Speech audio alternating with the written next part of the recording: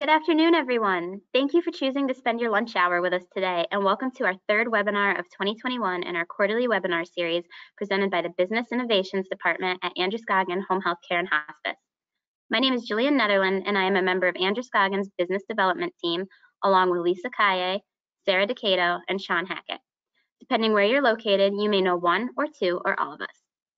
While our webinar series is new, our face in the community is not. Androscoggin was founded locally in 1966 and today is the largest not-for-profit home health and hospice organization in Maine, serving nearly 450 partner affiliations in more than 185 communities. Because of our nonprofit status, we are able to provide more than $1 million in care each year. We are proud to offer a comprehensive suite of services including home health care, palliative medicine, and hospice. What this means to our partners is that we are able to provide a seamless continuum of care for your patients as their needs change. These webinars are to serve as a helpful educational resource during this time of being unable to connect in person as we once did. Today's topic is hospice and effective patient care, chosen due to the option it provides patients for improved quality of life as well as overall patient and family experience. Our goal today is to show you what we are doing and how we can help you care for your patients while providing a quality of life that is free of pain and full of meaning. Please know that this webinar is for you, our partners. We encourage you to ask questions as you have them through the chat box so we can be sure to address them and get you the answers you need. To make sure we are presenting our webinar in a way that speaks best to our audience, we are going to begin with a question for you to answer via multiple choice on your screen. Who do we have joining us today?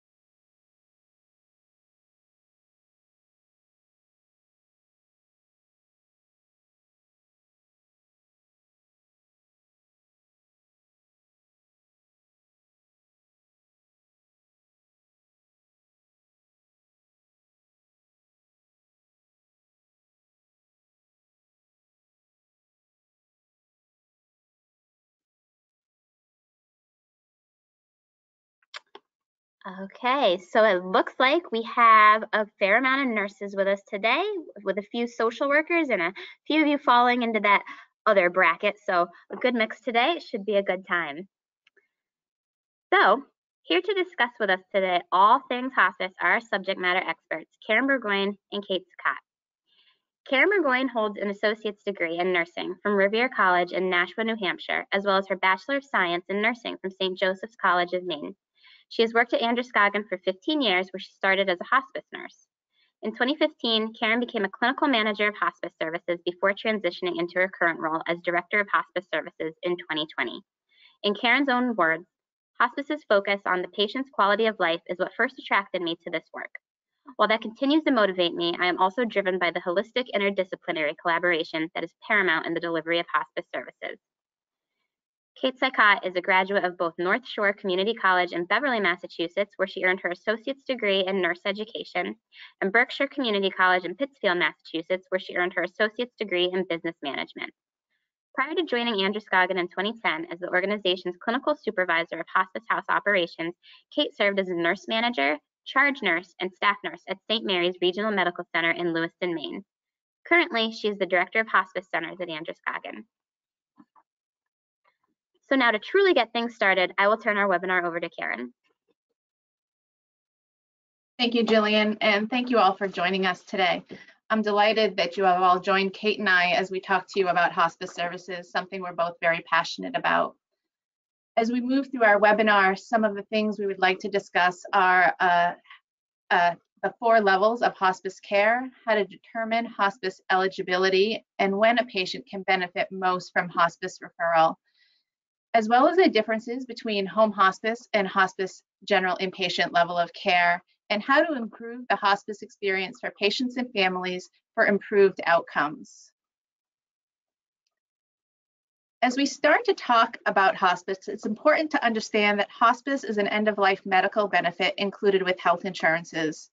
But more importantly, it's a philosophy of care and a model of care delivery focused on providing care at the end of life this holistic model of care and keeping the patient and family at the center. When talking about end of life goals and hospice, it's important that we're able to communicate with our patients and really get an understanding of what their end of life wishes are. These decisions are deeply personal and can also be influenced by cultural aspects of, of our patients and their families. It's important to have these discussions early because we can never truly understand and foresee uh, everything that will happen. And having these conversations early will help families and decision makers when they do need to make decisions for a loved one.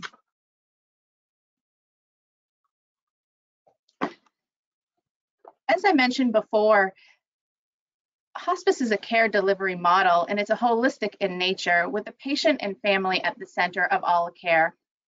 There's a great visual later on in the slides, but we'll talk about this a little bit now.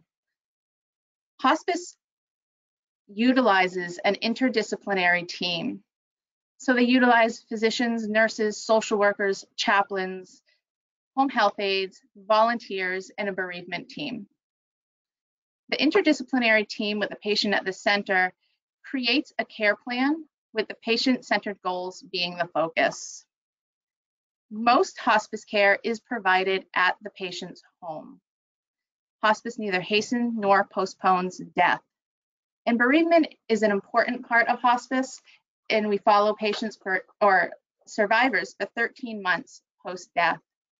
Volunteerism is also integral to the care we deliver, as we are required by Medicare to have 5% of all care being delivered by volunteers. While most of the hospice care we provide is in patients' homes at routine uh, level of care, there are other levels of care as well. Home care, routine home care, can occur in a patient's independent home, be that a house, an apartment. It could be uh, provided at an assisted living facility or a long-term care facility. We've also provided hospice care in patients' camps if they're there for the summer, um, as well as some transitional housing. Some of our population is not so fortunate to have stable housing. The next level of care is an inpatient respite care. This occurs in contracted facilities, so a facility that contracts with a nursing facility most frequently. And it's really to support caregivers. This caregiving is extremely fatiguing. It takes emotional and physical care to take care of a loved one at home at the end of life. When caregivers need a break so that they continue, can continue to provide the care, or when they themselves get sick, Medicare allows for a five day respite in a contracted facility. The next level of care is a general inpatient level of care. I'm not going to get too much into this as Kate really is a expert on this, and I'll allow her to get into detail later on in the presentation. But this is really about active symptoms, patients that symptoms just cannot be controlled um, in another level of care. Continuous home care is very unique, and the guidelines for who qualifies for continuous home care are very similar to general inpatient level of care. So again, for symptoms that are unable to be managed at a routine level or in respite, again, I'll let Kate get into the details of what qualifies and what doesn't qualify, which can be just as important. Continuous home care is in a 24 hour period. A nurse and or a home health aide will be in the home providing care to that patient who is uncomfortable. Contrary to the name, those eight hours don't have to be continuous. It could be blocks of two hours at a time or four hours at a time. This next slide really is the visualization of the interdisciplinary team in hospice, keeping the patient and family at the center. There are also some other members of the interdisciplinary team who may not be on here. Uh, facility staff that are caring for a patient in a facility um, and the attending provider as well is part of that care team. The care team is really responsible for coming together and establishing a plan of care. The goals have for that plan have got to be individualized to the patient and family, and they really have to be specific. They need to include all medications, services, and treatments, including the frequency of visits. The care plan has to be updated. This should be a very fluid um, plan. Patients change quickly, situations change, and goals change. So really allowing that fluidity. The plan must be updated regularly, a minimum of every 15 days or with any significant changes. And there has to be discussion with the care team on ongoing eligibility. It's really a collaborative care planning team. Again, with the patient and family at the center, and the patient and family should be contributing to the goals and the care planning. I'm sure many of you have heard about hospice and palliative care, and there are differences. And although hospice is a form of palliative care, not all palliative care is hospice. Some of the biggest differences are hospice is a, a benefited um, through Medicare and private insurances. It, there's a payment structure around that. Palliative medicine, there is no Medicare benefit or plan to that. Um, the other criteria that's different is there are very specific eligibility criterias for hospice, which we'll get into in a little bit. One of the criteria is there needs to be a prognosis of six months or less.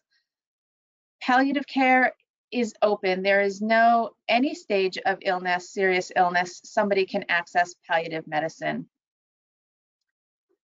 Services are also different in the two different service lines.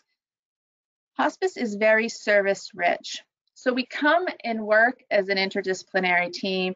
You get the interdisciplinary team when you elect hospice.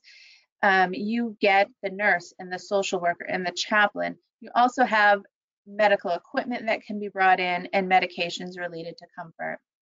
Bereavement is also very much a part of hospice, as mentioned before, with support for the family 18 months after.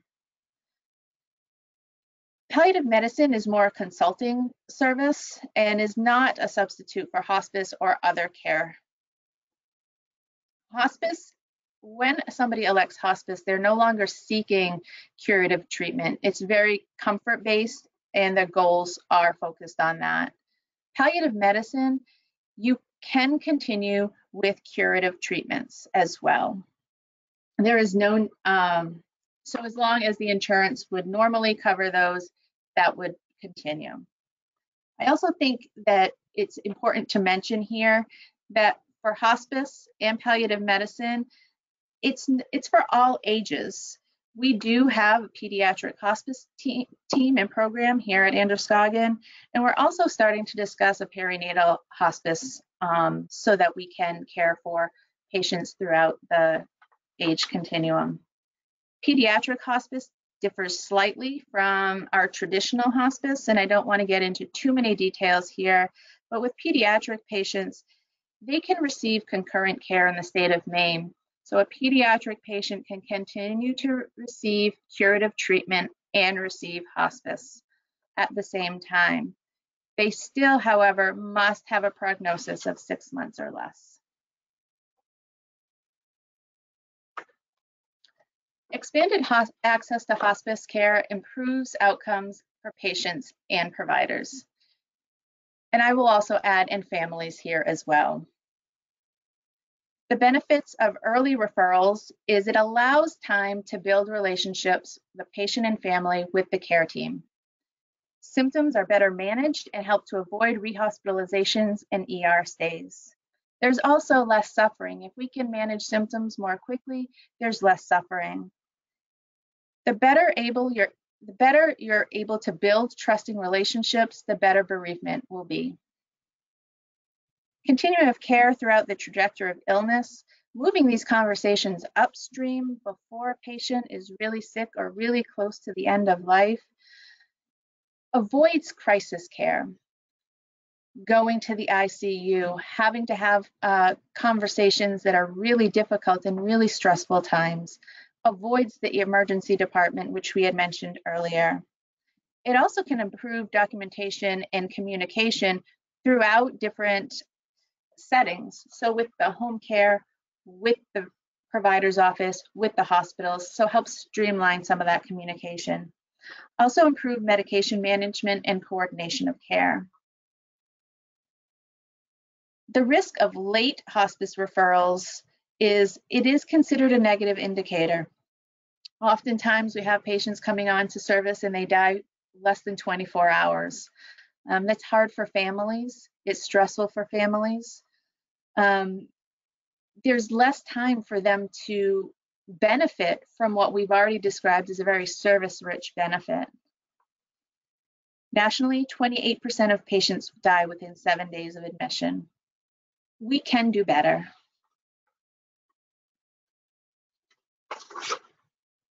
A little bit and a very broad overview of hospice eligibility. Patients may be eligible for hospice if their doctor believes that they have a terminal illness with a life expectancy of six months or less. Very difficult to try to um, navigate that.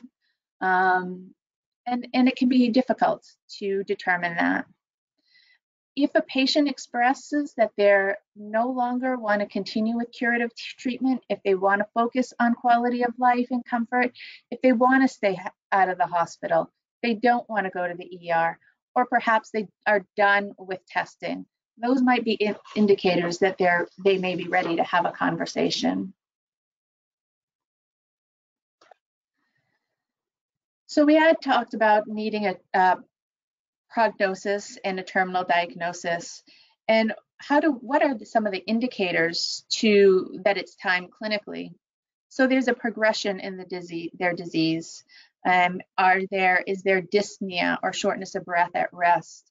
Is there chest pain at rest? Um, are they having some difficulty swallowing? Functionally, are they declining? Were they able to take care of themselves without difficulty a few months ago? And now they have to have help getting dressed. Uh, refractory symptoms that aren't responding to treatment. Is somebody swelling no longer responding to the medication that you're giving them? Is your patient often going to the emergency department?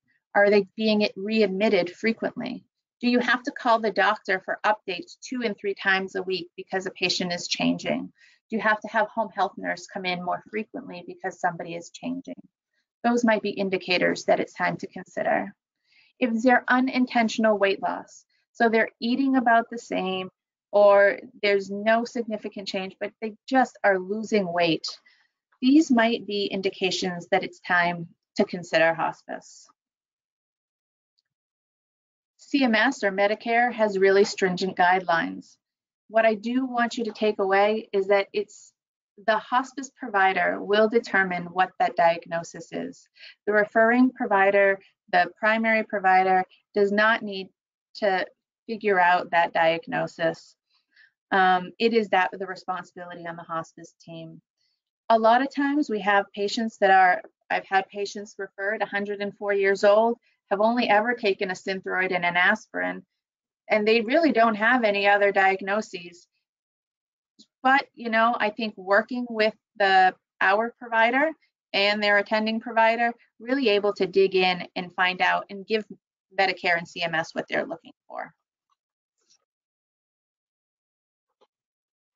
Next, Kate will be reviewing the eligibility guidelines for general inpatient and care at the hospice house. Thank you, Caryn. And thank you all for joining us today. I'm happy to share some more information with you about this level of hospice care, known as general inpatient level of care. So CMS or Medicare has rules, as they do for everything, around general inpatient level of care. Um, patients qualify for general inpatient level of care in different ways, and this can be provided um, when and where Medicare indicates. One of them is in hospitals, skilled nursing facilities, or hospitals, um, hospices with inpatient units, where they have nurses available 24 hours a day, seven days a week. And those have to be nurses that are in the facility. um, not nurses that are available by phone, but actually staffed nurses. It's allowed when a patient's medical condition um, is worsening and it's intended for short-term stays, short-term inpatient stays. Um, so we're talking about when symptoms are severe and they require attention to try and manage those acute or chronic symptoms. Um, and these are symptoms that can't be managed elsewhere. So they can't be managed at home. Um, they can't be managed in a long-term care facility. They need to have an inpatient stay wherever that might be. Um, a patient can qualify for a general inpatient level of care stay if they're a hospitalized patient and they're having ongoing pain um, or symptom management needs, again, that can't be met in another setting. So they can't be sent home from the hospital. They can't be sent to a nursing home from the hospital because their symptoms are so complicated. General inpatient level of care is covered at 100% under the Medicare benefit.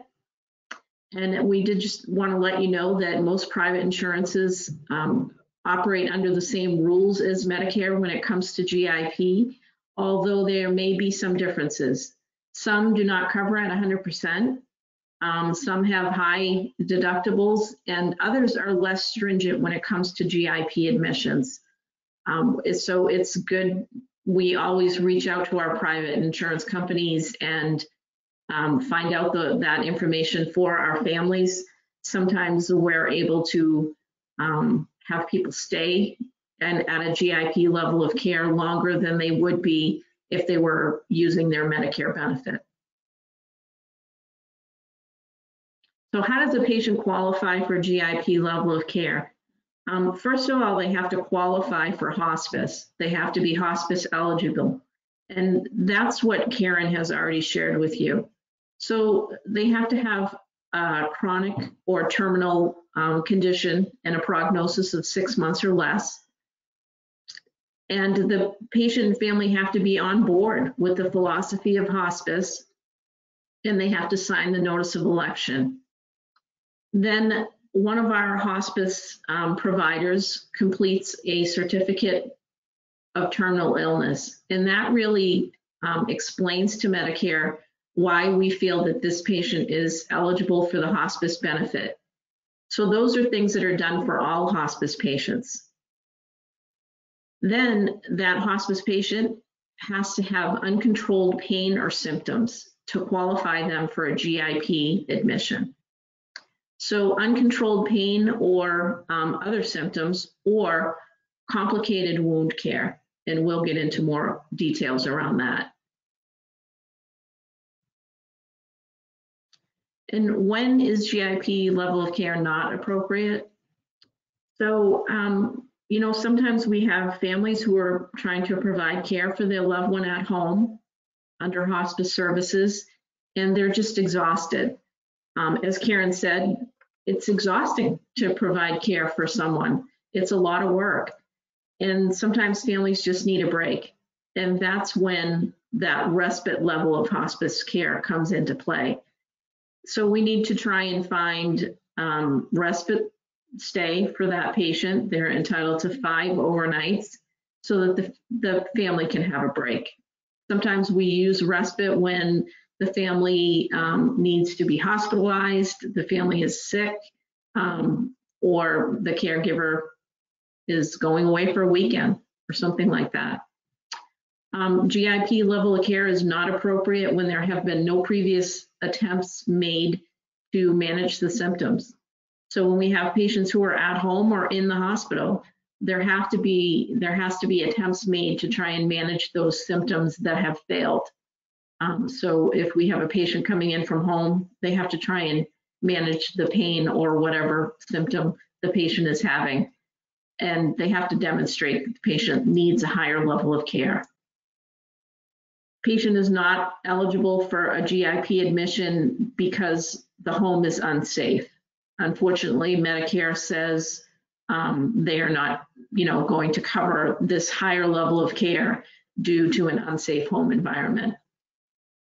not appropriate if the family doesn't want to continue, uh, if the family does not want to continue to care for the patient. So um, that's unfortunate, and we do sometimes come up against that. Um, but you know, CMS is not going to pay a higher rate unless the patient is actually symptomatic. The patient simply does not want to die at home. And sometimes we have that come up as a problem too for our home hospice patients. We will work with our home hospice team to try and, um, the best we can, figure out when that patient is nearing end of life and try and do a respite admissions to the hospice house so that the patient is actually here when they die um, and not in the home where it's um, causing great distress to the family. The family is actively, the patient is actively dying, but needs are being met. Again, um, if the needs are being met, then it's not appropriate for GIP admission. So GIP for pain management. Um, this is when a patient is having pain that's not well managed at home or in the hospital, and there is a complicated technical delivery of medication that's required that really needs a skilled nurse um, to manage that pain. And there's frequent calibration or titration of the pain medication and sometimes site care. So sometimes we're giving this medication intravenously, sometimes we're giving it subcutaneously but it's something that a skilled nurse needs to do, not something that can be done at home.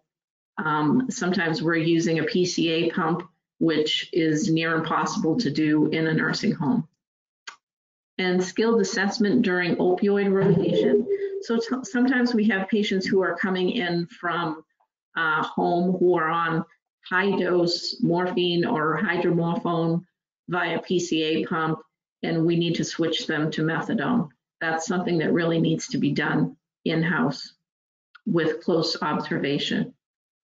Um, frequent evaluation by medical provider or nurse to establish an effective medication regime to reduce pain or other distressing symptoms. So these are patients sometimes who come in who are on high dose oral medications, um, but they're still having significant pain. Sometimes we just need to get those patients in really um, assess them, monitor, make sure they are actually taking all of the prescribed oral doses that are um, assigned to them and make adjustments while we monitor. And sometimes we end up having to flip them to a, a PCA pump. And other times we're able to manage with oral dosing and just getting them on a really effective regime. And aggressive treatment to control severe pain Unfortunately, sometimes we have patients who come in who are just in uh, severe pain crisis, and we need to be very aggressive in getting their pain under control.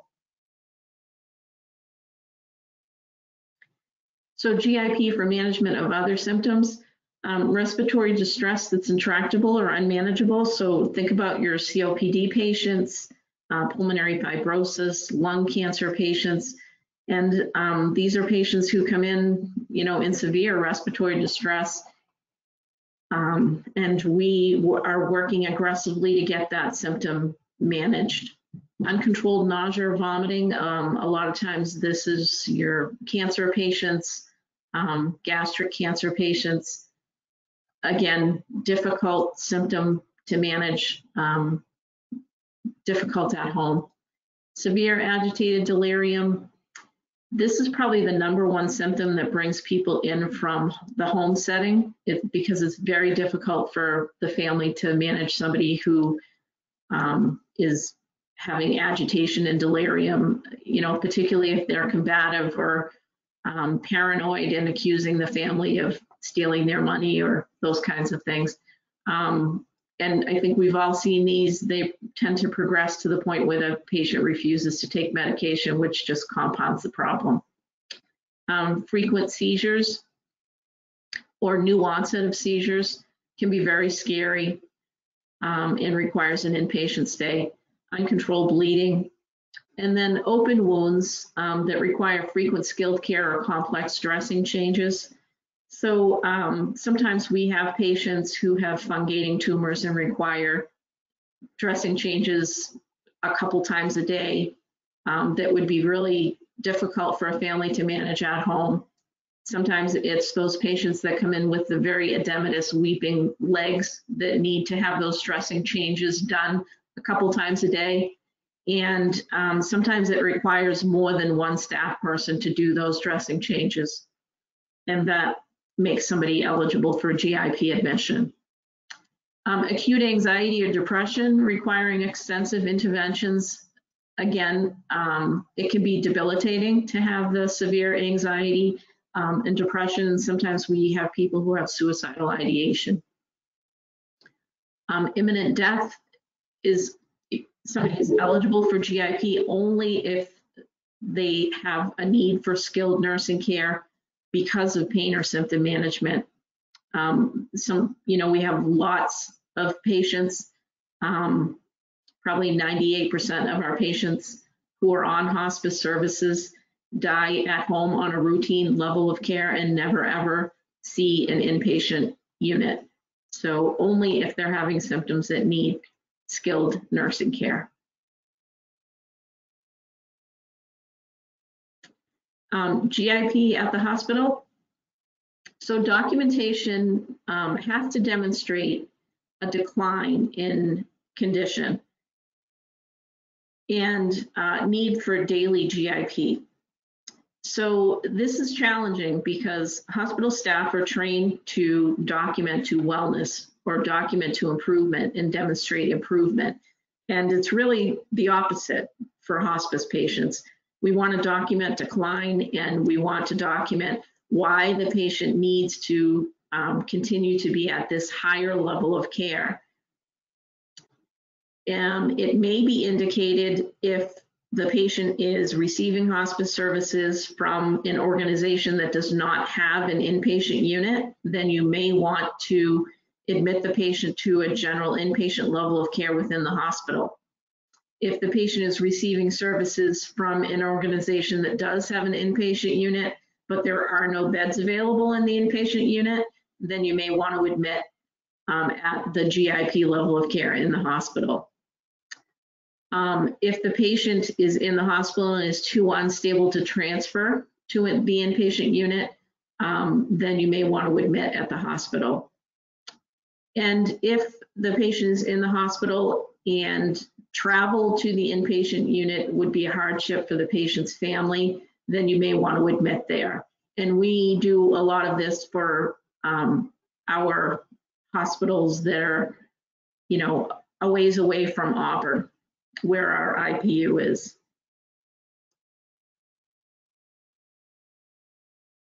So this is the hospice house in Auburn, and we just wanted to share this with you. Um, we provide a very home-like environment. I think you can tell by looking at this that this is not a hospital. Um, we really try very hard to maintain that home environment. It's, you know, we, we like to think of it as the best thing other than home. Um, the picture on the left lower corner is a view from the patient's bed. So you can see out into the living room space where there's a pull-out sofa, queen size sleeper um, for the families. Families are welcome to be here with their loved one in this comfortable environment.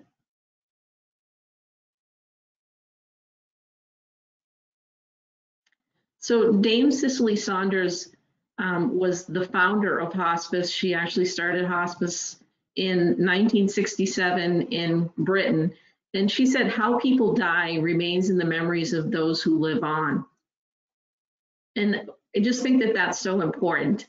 Um, my background is critical care, and I have seen a lot of people die in an intensive care unit on a ventilator with drips and um, family, you know, making trips in and out of the ICU with all of the sounds and smells and it's very different than being able to gather at the bedside of your loved one, whether that be at home or in an inpatient unit.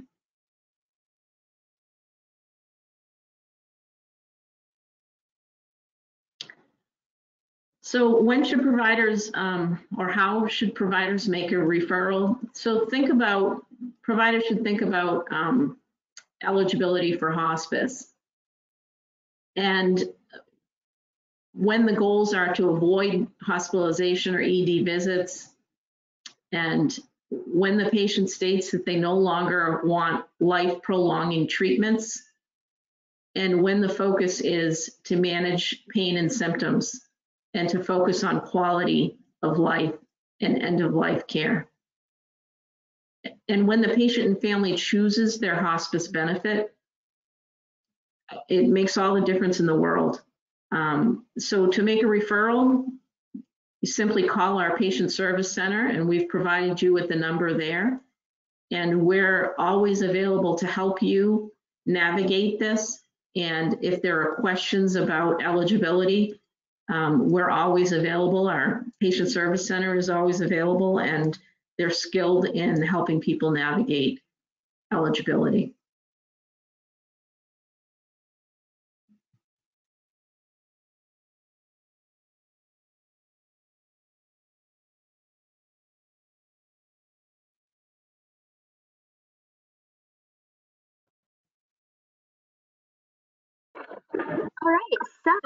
We are going to bring everyone back into the fold um, with some engagement here, asking a question. Um, again, multiple choice, just like our first one. So, what would cause you to hesitate to refer a patient to hospice?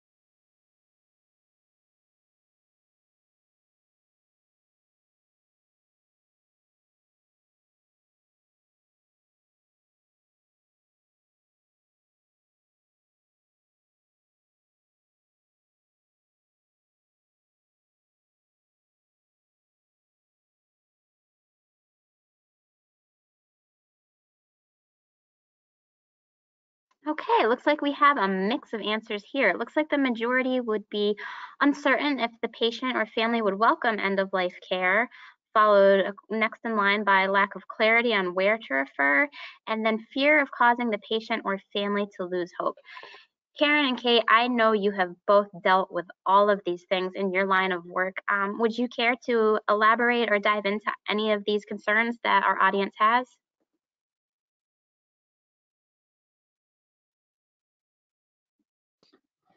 So I certainly um, can understand most of those. Um, I haven't always been a hospice nurse, and some of those certainly at some point in my career were things that I uh, thought as well.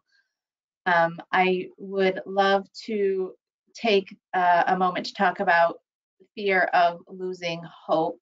Um, and also, what was the second one again, Jillian? Sorry about that would they welcome the um, end of life care and even end of life discussion?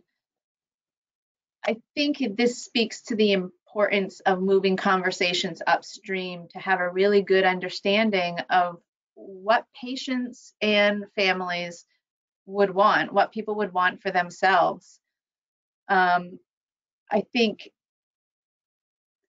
it is often people understand they're failing, they know they're failing, um, and by not speaking, you're allowing the elephant in the room to grow and maybe perhaps even creating more fear because it's not being spoken. Um, so as we as a society grapple with um, our fear and our hesitancy to have these conversations in general, moving that upstream so we're having dialogue and we're not afraid of it um, is really important. But I can understand where people would be a- afraid of causing someone to lose hope. Um, and I would also argue that it's not about losing hope, it's about reframing where they're at. And it's about empowering people and allowing people to have their choices and to be heard. It's a hospice is very patient focused patients have the the right to choose hospice. They have a right to say, I want the entire interdisciplinary team. I want the nurse. I want the social worker. They also have the right to say, I just want the nurse right now. So we're empowering people to make decisions that they want can help alleviate some of that.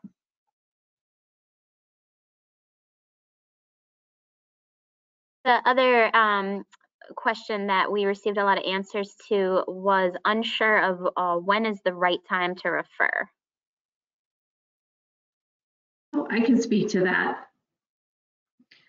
The right time to refer is when a patient starts asking questions or when a family member starts asking questions. Um, it's a good time to have a conversation with the patient's uh, primary provider. They can usually determine that they feel that the patient has a prognosis of six months or less, and they can make a referral. And we can work with the patient's PCP and help them determine eligibility. It's never wrong to ask the question. It's really wrong to not ask. And there, you know, I think we're all human and providers are human. And there may be times that the family may be asking and the provider's not sure. And it's never wrong to, to say, can we speak to the hospice to see if it's appropriate? Um, to question um, respectfully. Um, but I think it's it's okay to question and it's okay to call and say, this is this is what's going on what do you got, what do you think of hospice? I know I've had those conversations and Kate probably has as well.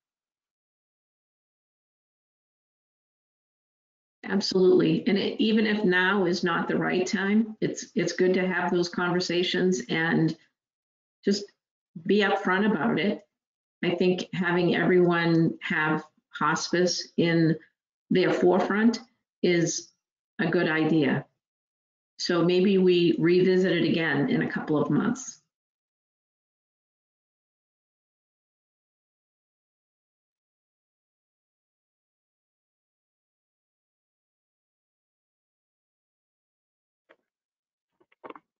All right, well, thank you, Caryn and Kate, for that enlightening presentation. I think we've all learned a lot. Um, we have been receiving some excellent questions from our audience, and it looks like now would be a good time to dive into those. Our first question here is, how do hospice and GIP hospice differ from your palliative care program? So I did go into that a little bit, um, and I can dive into that. GIP hospice and routine hospice, it's different levels, but it's that same um, hospice. Palliative care is different. Um, they do in palliative care, you do not have to have a prognosis of six months or less. You can continue to seek curative treatment. Hospice is uh, palliative care. What they don't have is the services attached. It's not a benefit. You know, we talked about hospice being a care delivery model, and you know, palliative care would be more consult a consultative type service. Um, you go to your doctor and they refer you to a palliative care provider, um, either a nurse practitioner or a, a doctor, and they would do an evaluation and make recommendations similar to any other medical specialty. specialty. Um, and I do think that we have a webinar on palliative care um, that people would be able to access to get a more uh, a better understanding. Hospice certainly is my specialty. Palliative care, I would defer more to the palliative care team. Hospice is really about focusing on that last six months of life, really focused on comfort, um, patient-centered goals, improving quality of life, and keeping the patient where they want to be for as long as possible. So we have one here. Um, What is a hospice talk? When do I refer to such?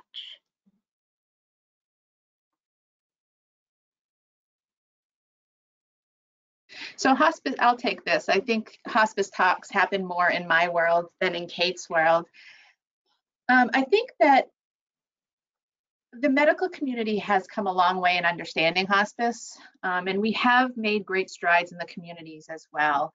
But I think that when we have families and patients either in a in the hospital or in a long-term care facility or an assisted living facility, they may not understand everything that is hospice. A hospice talk is informational gathering, so it allows a representative from hospice to sit down with the patient and family and explain the hospice benefit, what it is, what it isn't, alleviate the fears. There is a real fear that people have that, and I've heard it time and time again, I'm going to be open to hospice, they're going to give me morphine, and I'm going to die immediately. That's not the case, not at all. Or the fear that they're going to send me to the hospice house, I'm not going to be home, and I'm going to die at the hospice house. There's, and Kate could uh, give the statistics, I think it's about a third of our patients at the hospice house are discharged back home or to their to their where they were living before. So it allows us to dispel those fears so they're really able to make the choice that's best for them. Giving them information, we can take it in and we can sort of help them with some goals of care questions. Is this really what they want or do they want to continue with a more curative path? But it's information shared both ways. So we had another one come in with a personal story that, Kate, I think this would be a good one for you. I've had two family members at the hospice house. One was there for a couple of weeks and then passed away. The other was there for just a few days and then we were told they didn't qualify and needed to return home.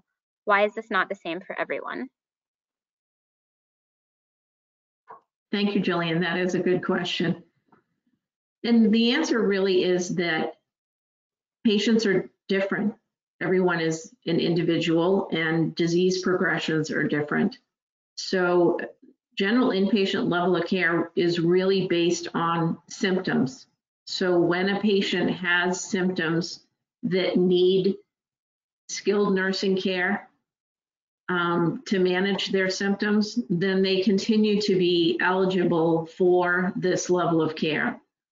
So I would assume that the patient who was here for two weeks um, was continuing to have symptoms that needed that higher level of nursing care to keep them comfortable. And I would assume that the other patient, we were able to get their symptoms well managed um, to the point that they could return to their previous living situation. We sense. have to evaluate every patient here every day um, to determine whether or not they meet eligibility. And that's based on CMS or Medicare guidelines. Thank you, Kate. That makes sense. Um, we have one final one, unless any others come in. Um, this one's kind of fun. Are pets allowed to visit the hospice house? So yes, pets are allowed to visit. Um, we have a waiver that people sign when they come in and they kind of register their pet. It's a very simple form. Um, pets have to be accompanied by a visitor, so they can't be left here unattended with the patient. Um, but yes, we welcome pets and we have had everything from dogs and cats to birds and snakes and ferrets and spiders and yes, but so I love that. Um, well, it looks like I don't see any more coming through right now. So it looks like that covers the questions we have at this moment. But if you're like me and you think of questions after our time ends today, please do not hesitate to call or email your business development specialist or provider relations consultant, either Sarah, Sean, Lisa, or myself. We are always here to help your patients in any way we can. And we want to know how we can be of the most help to you when it comes to hospice care. So before we end our time together and move on with our afternoon, please take a moment to answer our final poll question.